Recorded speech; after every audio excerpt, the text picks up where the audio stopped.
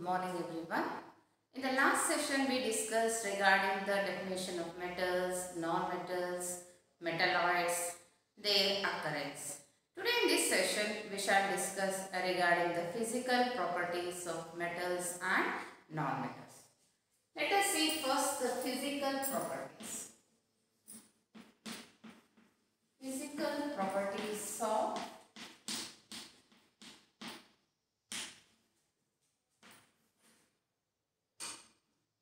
metals and non-metals.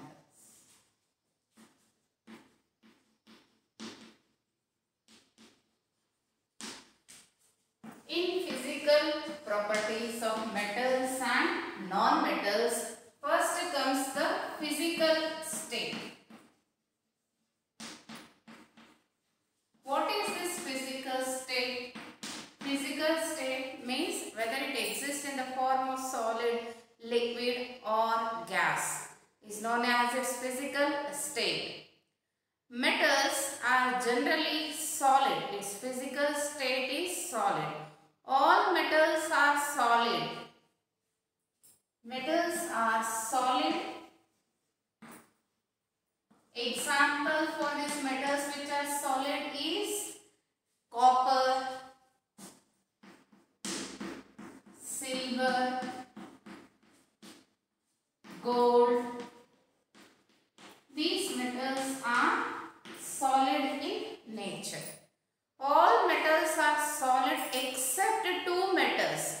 Two metals which are liquid state is mercury and gallium. Mercury and gallium, these two metals are having liquid state. In the competitive exam, they ask which are the metals are having liquid state is mercury and gallium are the two metals which are liquid in state. You know mercury, where it is used? Mercury is used in thermometers. Since it is in the liquid state, this metal it is mercury is used in the thermometers. When you come for the physical state of non-metals, non-metals,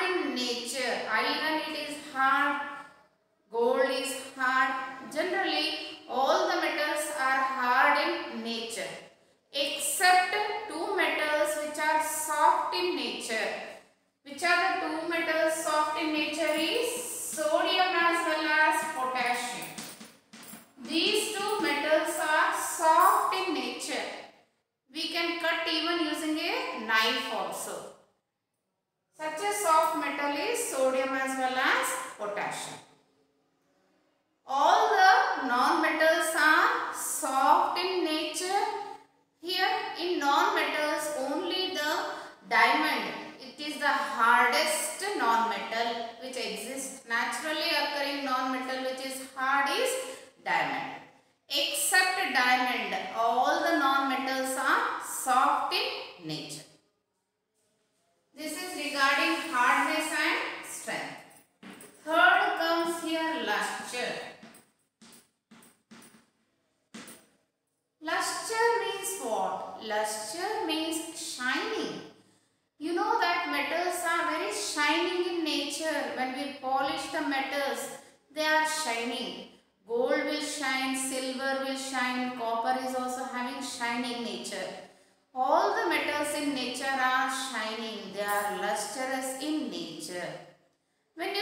Non-metals, non-metals are not luster. They are not lustrous in nature. They are not having shining appearance. Except a few of the non-metals are having shining appearance like diamond. Diamond is having shining appearance. Graphite is also having shining appearance. Iodine also it is having shining appearance. Only few non-metals are having shining appearance. Almost all the non-metals in nature are not lustrous, are not shining. All the metals are lustrous in nature. Lustrous means shining. After this luster, next comes the physical property is malleability. Malleability and ductility. Malleability and ductility. What is the meaning of malleability and ductility? The property by which the metals can be beaten and they can be converted into a thin sheets is known as malleability. The property by which the elements can be beaten and converted into thin sheets. If we convert these elements into thin sheets, then the property is known as malleability. What is ductility? The property by which the elements when beaten can be converted into wires. If we convert the elements into wires, it is known as ductility. If I take gold, I can make the gold into form of thin sheets as well as I can convert into wires. Copper, copper wires it can be made, copper sheets also can be made. Aluminium can be used as aluminium sheets as well as aluminium wires. All the metals are having malleable and ductile in nature. All the metals can be converted into thin sheets as well as they can be converted into wires. Except a few metals which cannot be converted into thin sheets are sodium as well as potassium. Remaining all the metals can be converted into thin sheets as well as wires. In general, all the metals are malleable as well as ductile in nature. If you go for non-metals, non-metals, example for non-metals here is solid non-metals is sulfur, phosphorus. These are the non-metals. They, when we beat these non-metals, what happens? They are not converted into thin sheets or wires. If we apply high force, they will break down. When it breaks, we call such elements as brittle in nature. We apply high force, it will break. So, non-metals are non-malleable and non-ductile. We cannot convert sulfur and phosphorus into thin sheets as well as the wires. In nature, all the non-metals are non-malleable and non-ductile. Metals are malleable as well as ductile in nature.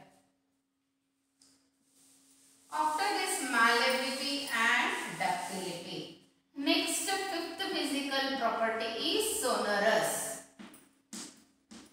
Sonorous. What is this sonorous? Sonorous means which produce sound. If I take one metal and if any object hits on the metal, when it strikes the metal, what happens here? A sound is created. Here the metals are sonorous. They produce sound when an object hits the metal. If I take bell, the bell rings because the metal when it hits the another metal, what happens is sound is created. All the metals are sonorous in nature. They create the sound. They produce the sound. If I take musical instrument, musical instruments like sitar, violin, there will be metal strings are present.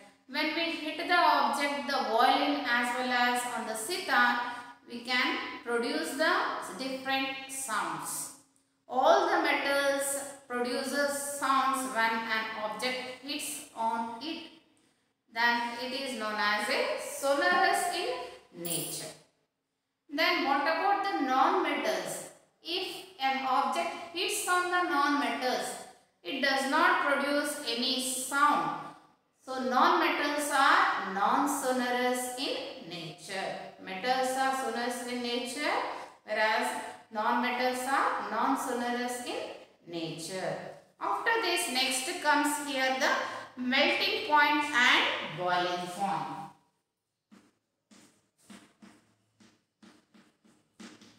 When you see melting point and boiling point, which are hard in nature, metals are having hard in nature, then what about its melting point and boiling point? Then metals are generally solid except two metals that is mercury and gallium. So their melting point is very high because they are very hard in nature. Whereas non-metals, they are very soft in nature. When they are soft in nature, they are having is melting point and boiling point will be low. Metals are having high boiling point. Metals are having high melting point. MP means melting point. BP represents boiling point. Here two metals are having very low melting point. The two metals are which except two metals that is except sodium and potassium. These two metals are having low melting point.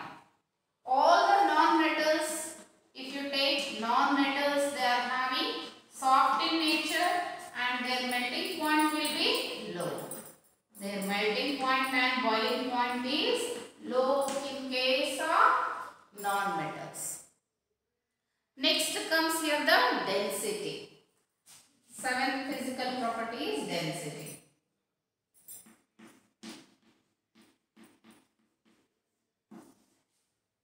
Here the metals are hard in nature and they are having high density. Metals are having high density. Density will be high in case of metals. Whereas non-metals, how they are? They are very soft in nature. They are having light weight. Hence, they are having density will be less. They are having low density. Whereas metals are having high density.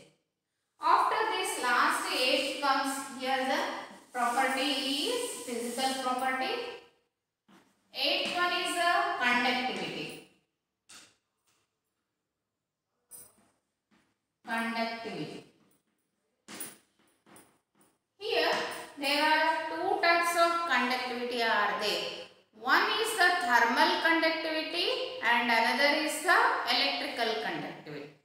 The word itself indicates thermal conductivity means heat conducts here. Heat is transferred from one point to the another point. Similarly, electrical conductivity means the electricity is conducted. The movement of electrons takes place from one point to the another point. Then we call it as the electrical conductivity. Conductivity means transfer.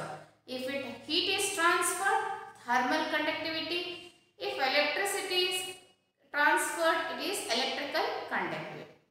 You know that metals are good conductors of heat and electricity. Whereas non-metals are bad conductors of heat and electricity. If I take a metal rod,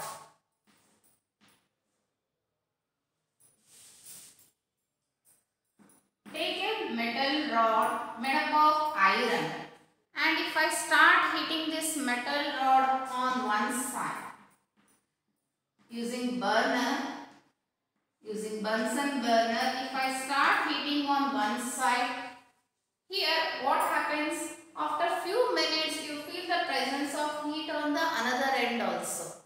If I take this as A initially I am heating at a point A and after few minutes I feel the presence of heat on the another side B. Why the heat is felt here? Because this iron rod conducts the heat energy from point A to point B. In place of iron rod, if I take wooden, whether the heat is transferred here? No. It will burn but the heat is not transferred from one end to the another end. That is the reason here why we use in case of the utensils, the vessels. The handles of the vessels are made up of the plastic as well as in the metal pans we use the handles made up of wooden so that the heat should not transfer here. When we hold it, it should not uh, burn our hands. Hence we use the handles for the vessels as well as for the pans, metal pans, the plastic as well as the wooden it is used because it is a bad conductor of heat. Similarly, the electricity. If I pass electric current through the wood, whether it will pass here? No. Wood does not conduct the electricity. It is a bad conductor of electricity. Non-metals here are the bad conductors of heat as well as electricity. If I take copper, copper if I take in terms of copper wire, what happens? The electricity conducts. You know that the electricity wire is made up of the copper. In copper conducts the electricity. Hence it is used in the electrical wires. So copper it is a metal. Metals usually are good conductors of heat and electricity. Non-metals are bad conductor of heat and electricity. These are the physical properties of metals and non-metals. First physical properties, physical state, Second one is hardness and strength. Third is luster. Luster means shining. Malleability and ductility. If it is converted elements into thin sheets, it is malleability. If it is converts into thin wires, it is ductility. Sonorous means which produce sound. Melting point, boiling point, density and the last one is a conductivity. There are two are there. One is thermal as well as second one is the electrical conductivity. These are the physical hmm. properties of metals and non-metals. After physical properties of metals and non-metals, let us study next one is the chemical properties of metals and non-metals. Chemical properties. In chemical properties, first one is the reaction of metals with oxygen. First chemical property is reaction of metals with oxygen.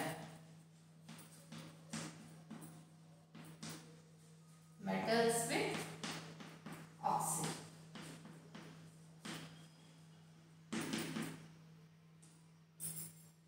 Here, metals react with oxygen and they form as metal oxide. Metal when it reacts with oxygen. What is formed here? Metal oxide is formed. Let us take example for metal that is the magnesium when it reacts with oxygen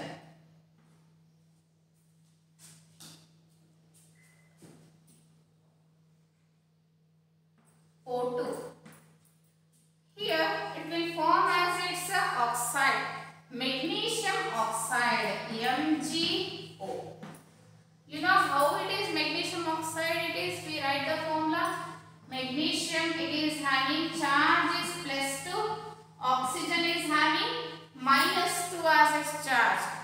Both 2 to get cancelled here remaining is what? MgO. MgO is known as magnesium oxide. Here the obtained magnesium oxide, the metal oxide obtained, it is basic in nature. What is the nature of this oxide? It is basic in nature. How you come to know whether it is basic or acidic?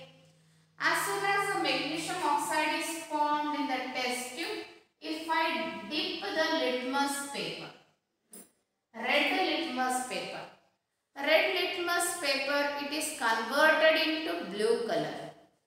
Red litmus paper is converted into blue color. Blue color indicates that the obtained oxide is basic oxide. Whenever a metal reacts with oxygen, heat will form a basic oxide. It converts red litmus to blue color. The obtained oxide is, what type of oxide you get? Basic oxide. It may stop up to this reaction or the obtained oxide may react with water molecule and it will form its respective hydroxide. Magnesium oxide it reacts with water molecules and it will form MgOH twice. MgOH twice is known as magnesium hydroxide. Magnesium is plus 2, OH is minus. It will form MgOH twice, magnesium hydroxide. If I take sodium or if potassium, sodium or potassium, if it reacts with oxygen. Here, the sodium, when it comes in contact with oxygen, it will form respective oxide is Na2O. Na2O is known as sodium oxide. As soon as sodium oxide is formed, it catches fire. This sodium oxide as well as potassium oxide, they easily catch fire when they react with the oxygen. We call whenever it reacts with oxygen metals, we call it as oxidation. Oxidation of sodium or potassium. It may be Na or it may be K, potassium. Sodium or potassium, whenever it reacts with oxygen, which is present in the atmosphere, it will form respective oxide as sodium oxide or potassium oxide. Potassium oxide is K2O. Either Na2O or K2O is formed, it easily catches fire. So, how to prevent this sodium and potassium metal should not get in contact with oxygen?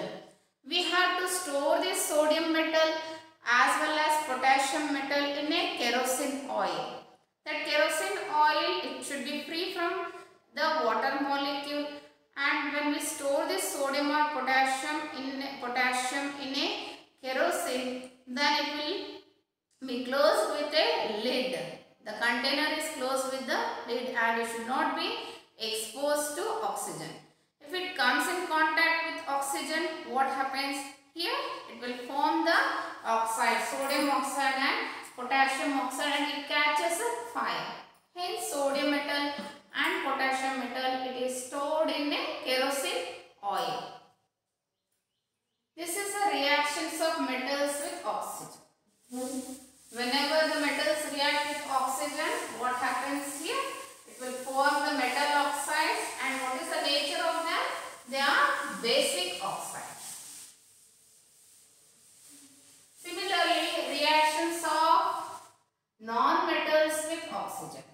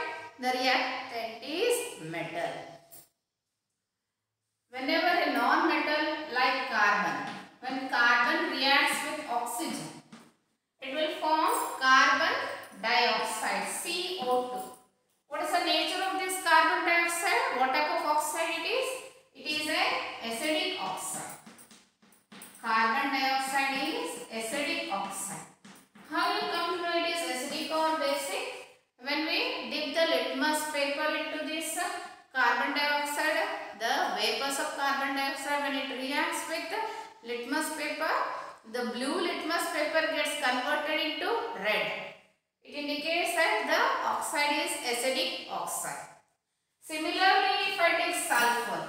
Sulfur when it reacts with oxygen, it will form sulfur dioxide. Sulfur dioxide how? It is a gas. You write G for the gas and S for the solid and L for the liquid. These are the physical state. Carbon is solid here, oxygen is gas, carbon dioxide also is gas. S represents solid L represents liquid, G represents gas.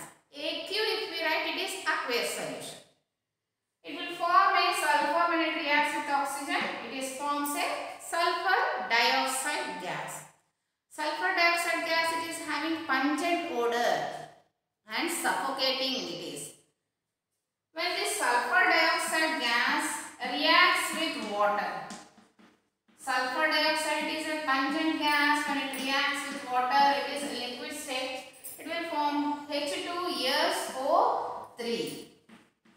H2SO3 is known as sulfurous acid. This sulfurous acid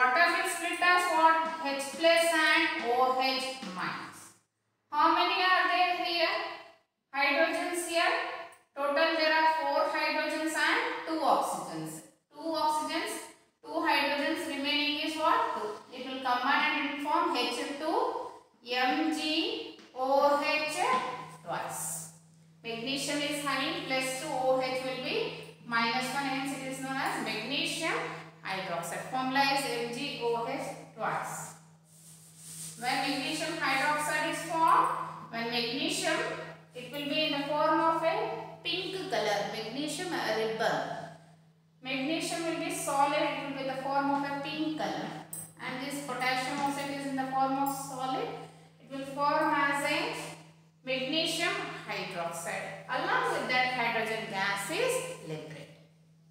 If I take aluminium, aluminium, aluminium when it reacts with water, water is a steam. In the form of steam, it will form aluminium oxide. Aluminium oxide is Al2O3. Along with that hydrogen gas is Here it liberates three hydrogen gas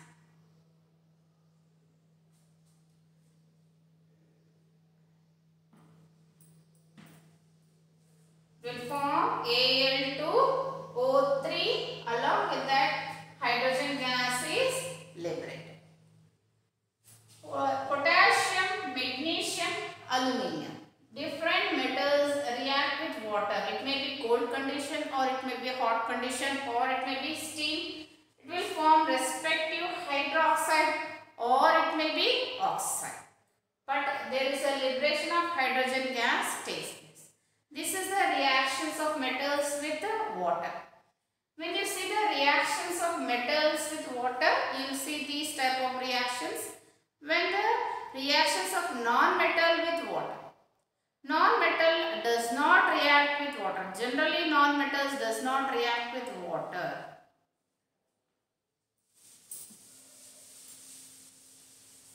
Reactions of non-metals. Non-metals does not react with water. Third comes here reactions of metals with dilute acids. Reactions of metals with dilute acids. What is this dilute meaning? You know acid, but what is this dilute acids?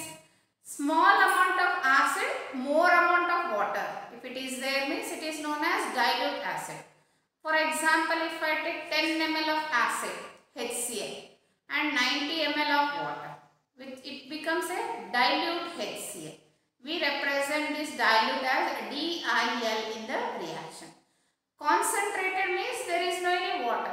All it is only the concentrated means only it is having acid. It does not contain water. If we add water, excess of uh, water is added to the acid, it is known as dilute acids. If the metals I take like sodium, sodium when it is reacts with dilute acids like HCl. HCl is hydrochloric acid. This sodium, it replaces hydrogen. In place of hydrogen, the sodium comes here. It displaces the hydrogen. Sodium displaces hydrogen and it will form NaCl. And what is liberated here? H2 hydrogen gas is liberated. It will form 2 NaCl. NaCl is sodium chloride with the liberation of hydrogen gas. Similarly, if magnesium, if is taken, magnesium reacts with HCl. Here what type of HCl this is? Dilute HCl. DIL represent dilute HCl. Here hydrogen gas is uh, removed and it is displaced by magnesium. It will form MgCl2. Magnesium chloride. Along with that hydrogen gas is liberated.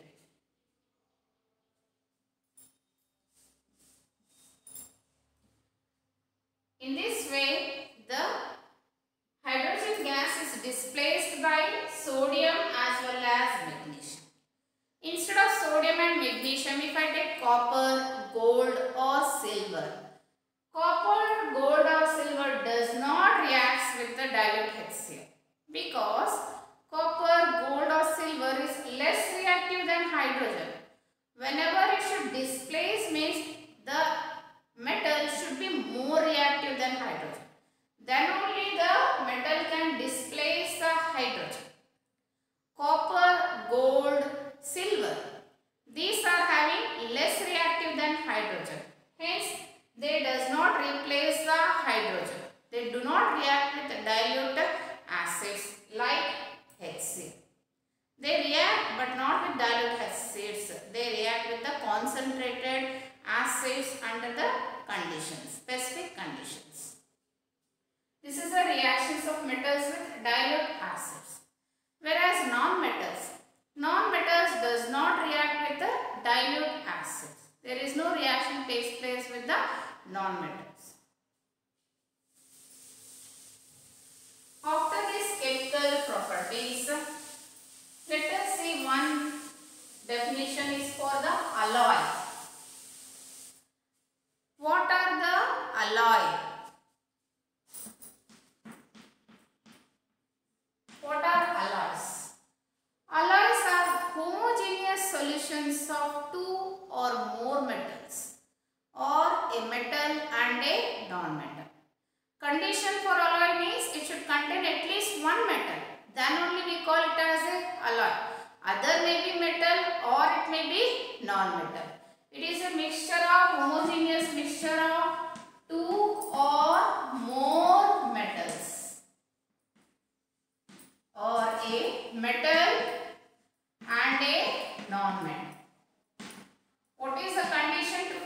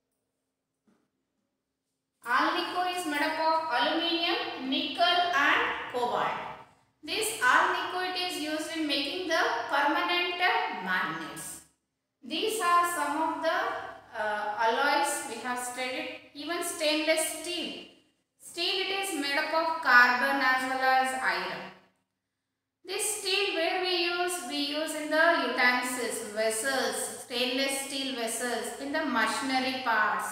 Even in the aeroplanes also steel is used. After this the last parts comes the uses. Uses of metals as well as the non-metals. Metals we used for example gold, silver, platinum. It is used in making the ornaments. Copper it is used in making the coins. Aluminium it is used in making the aeroplanes body parts. As well as aluminium it is used for packing food. Food packing we use the aluminium foil. Even it is thin sheets of aluminium it is coated on the sweets, chocolates. You see the aluminium shining appearance on the sweets and chocolates. Metals like iron, it is used for construction. There are many uses. These are some of the uses. Let us see the uses of non-metals. Where we use the non-metals? Non-metals like nitrogen.